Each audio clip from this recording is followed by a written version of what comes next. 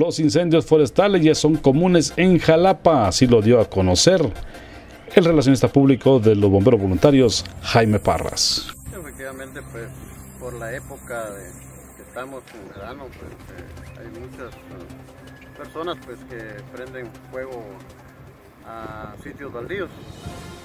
Cuando son controlados, pues no hay problema, pero cuando no, eh, el viento favorece a que crezca más el, incendio.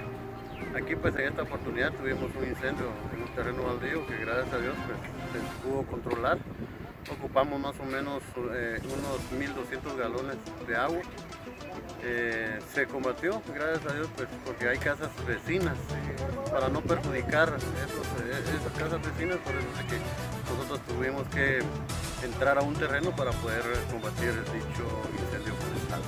para que la gente tenga un poquito más de conciencia. Esto es en el casco urbano de Jalapa, Jaime. Es afirmativo, sí, es en el, casco urbano. Eh, sí nos preocupa porque hemos tenido diferentes incendios forestales en sectores que han perjudicado a viviendas y a ganados.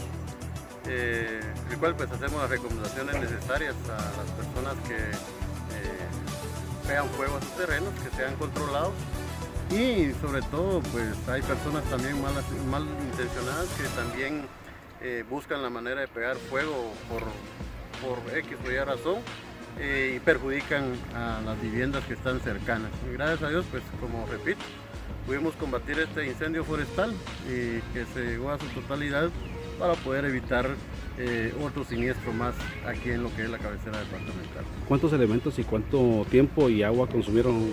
Efectivamente, aproximadamente 1.200 galones, elementos eh, están eh, de los de la Guardia Permanente y los voluntarios, habemos 6, 7, 8, de los cuales pues estuvimos presentes para poder sofocar este incendio.